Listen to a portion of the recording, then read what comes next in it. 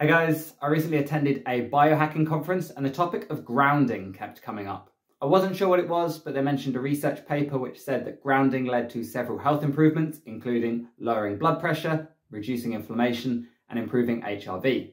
So I decided to do a little experiment. I bought a grounding sheet and I slept on it for 40 nights in a row. I then used my wearable data to compare to before I had the grounding sheet to see if there was any statistically significant effect.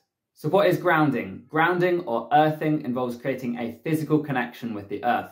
It's often mentioned in the context of electrical sockets, but here it refers to direct skin contact with the surface of the earth, such as walking barefoot in the garden. Without grounding, our bodies carry a greater positive electrical charge, which is theorized to have a negative impact on health and well-being.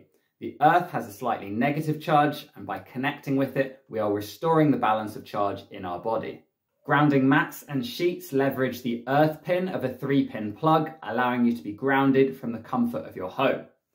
The plug provided with my sheet has two plastic pins, so there's no danger of electrical shock, and a long enough cable that I can sleep with my sheet on the bed as normal.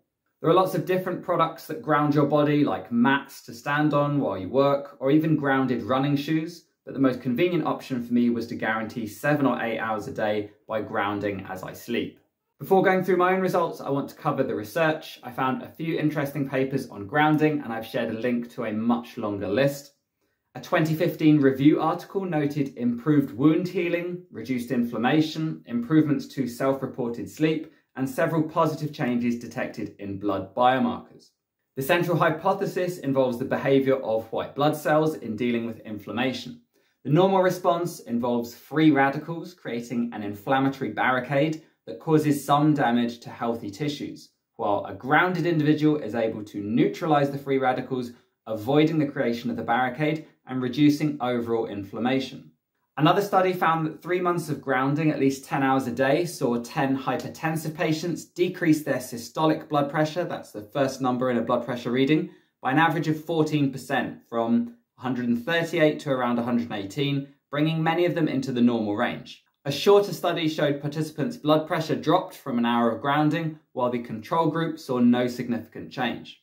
Grounding is not without its critics, and many people claim that the idea of an electron imbalance fails basic science. They point to the small sample sizes in the studies, the fact that each one reports a different benefit, and the questionable journals that have published them. They note that electron imbalances can't be maintained for a significant amount of time because there are so many things that we interact with in our daily environment that are capable of correcting that balance. There's nothing special about the Earth itself.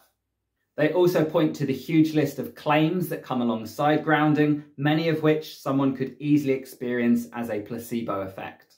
So what did I see in my results? My experiment centered around HRV, heart rate variability, which is the variation in timing between your heartbeats. Since higher is generally better, the hypothesis would be that by grounding, I would see a rise in HRV. I have a wearable that measures HRV as well as some other metrics we'll look at like sleep quality, resting heart rate, and respiratory rate. So let's start with sleep. By comparing my data before and after using the grounding sheet, I saw no significant differences to my Oura sleep score, minutes of total sleep, or any of the sleep stages. I saw an insignificant difference to my average HRV of one and a half milliseconds in the wrong direction and a slight drop in my readiness score. Two significant changes I saw were to my resting heart rate and my respiratory rate. My resting heart rate rose by 1.3 beats a minute, while my respiratory rate rose by around 0.2 breaths a minute. The latter doesn't sound significant, but this is a metric that is relatively consistent unless you're ill, though you could argue looking at my long-term graph uh, that I was on a downward trend. A higher resting heart rate would be seen as a negative, and while the p-value indicates significance, this is a good example of p-hacking, something that the critics point out may have been going on in the other studies. P-hacking is a form of data manipulation to produce findings that appear significant but often aren't. One way to do this would be to track lots of different things, wait for something to come back as significant, which could happen by chance, and then drawing your conclusions after rather than starting with a hypothesis. As for my conclusions, on a very small sample size of one person, I saw nothing to convince me that grounding is anything other than pseudoscience. I appreciate that you can't disprove an n equals 10 study with an n equals 1, which is not what I'm trying to do here. As I'm not hypertensive and my inflammatory markers are already very low, I wasn't able to test the other claims found in the research. I did feel calmer on my very first night on the sheet. Uh, this could be a placebo effect or from lying on a different material to normal. The fact I heard it at a biohacking conference doesn't count in its favour. While biohackers are occasionally on the forefront of something with a tangible health improvement, quite often companies will use questionable scientific claims to make a quick sell, in my case a £70 grounding sheet, to a group that is known for having more money than sense. I do believe people who say they experience health benefits from the real thing. They're taking time to step into nature, getting plenty of fresh air and sunshine, which I imagine is quite relaxing, but none of that is being replicated by standing on a mat or blanket. Thanks for watching.